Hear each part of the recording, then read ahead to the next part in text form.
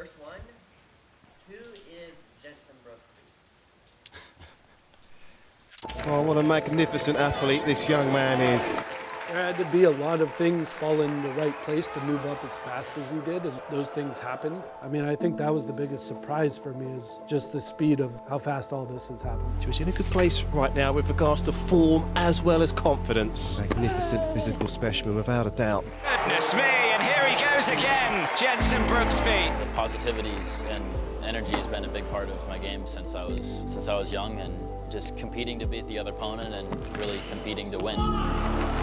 His ability to settle into what should be a high pressure situation, like nothing seems to phase him. Remember that name, Jenson Brooksby. I'm sure we'll be seeing and hearing that name for many years to come at ATP Tour level. Let's go! You know, he's always brought that tenacity and, and the fight to the court and the skills. That's the no- most important thing is to have that energy, and it's, it's it's number one for me because then the other aspects of my game can can fall into place from there.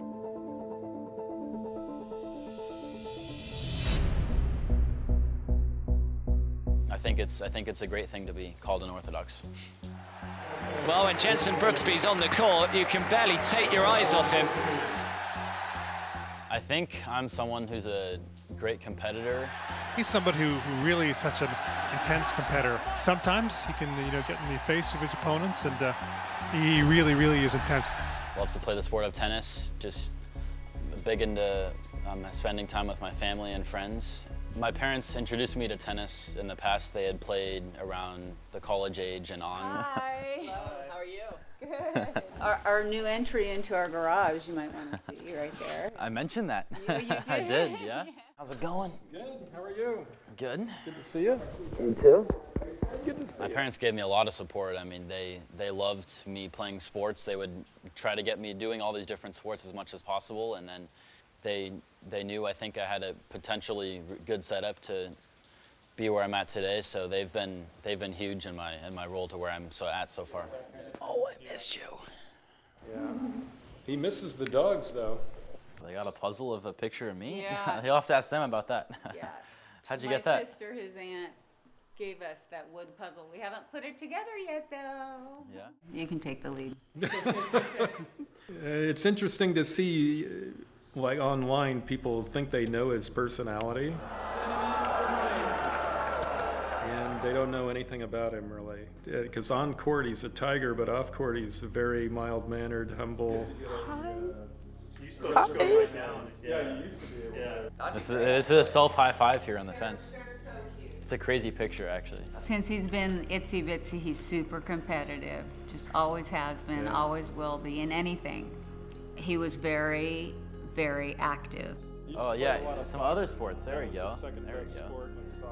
I put him in every single sport because he was bouncing off the walls, and so he did soccer and tennis and basketball and t-ball and swim team. The garage door, eventually by Yeah. four, five, six, seven years of age, he'd go out before school. Before kindergarten, he'd go outside and play against the garage door with a Nerf ball, the Nerf tennis ball, you know, and just go hit. Then he'd do it when he came home, and he'd go out in the evening. He and loved it, He'd be yeah. out there for 30 minutes to an hour, just doing little games off the wall.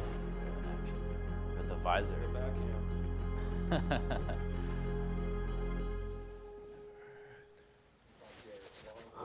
I saw him hitting on a wall one time, and, and I saw his focus and his concentration and like attention to detail at a young age. And so um, that's where it kind of convinced me to start working with him and to start uh, start training him. We've been at uh, Arden Hills since 2013 in Sacramento. Gets his fighting qualities from the culture of the JMG Academy in Sacramento.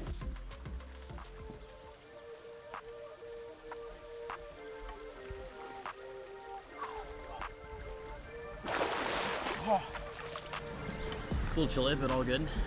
Ready to get warm and have a good academy. And then at the end, after the circles, dive into it as much as you can. He's like a sponge. In this day and age, there's not many of them out there that actually want to know and actually learn and what, what you're trying to help them with. Well, I'm not trying to be an Olympic hurdler, am I? Got him. You give him something to do, he just does it. There's very few questions um, as to why this, that, or the other. He just does it. He trusts you with it, um, which is which is huge. And then when he sees the results, then he's like, oh wow, that's right. I get I get why we did that. Five squat jumps. You want to get this one. All the way down. All the way down.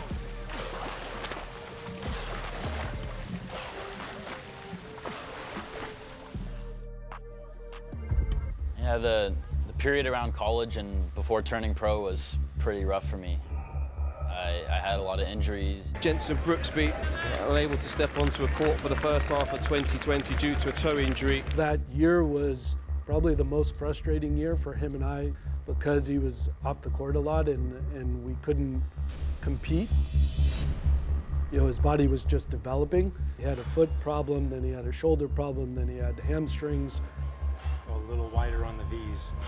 So that was frustrating. But I also think it was good. It made him take the gym a little bit more uh, serious and more professionally. It's, it's never easy to really break through like that, but um, it just added extra motivation from just prove to everyone what I got.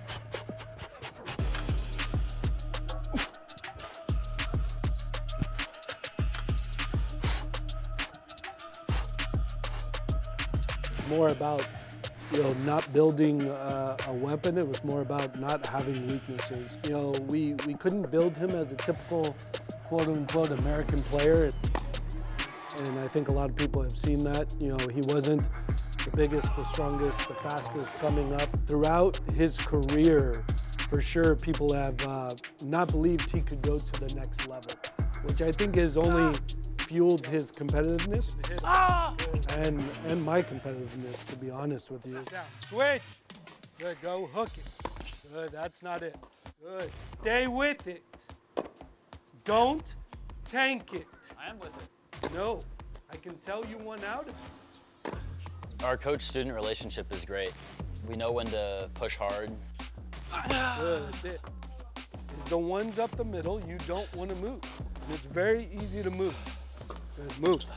Good. Shuffle. This is good. Move it. Good. Shuffle. You don't react to when I say what? Good. Good. You react to when I say anything back. I push him hard. I push him hard. I push Jenson uh, really hard. Switch.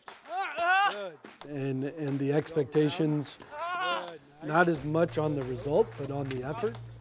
Look at the camera and say how much fun you're having. Take deep breaths and do it again. Good. Go. Go.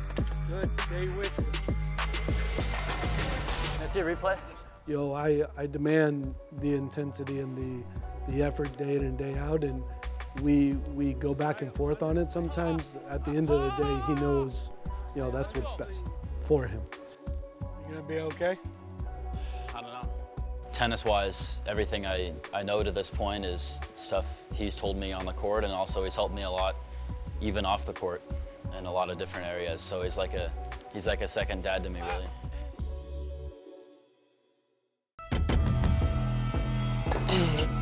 That was the greatest experience so far I've had, just with that atmosphere and just a reminder of the moments I want to be in more often.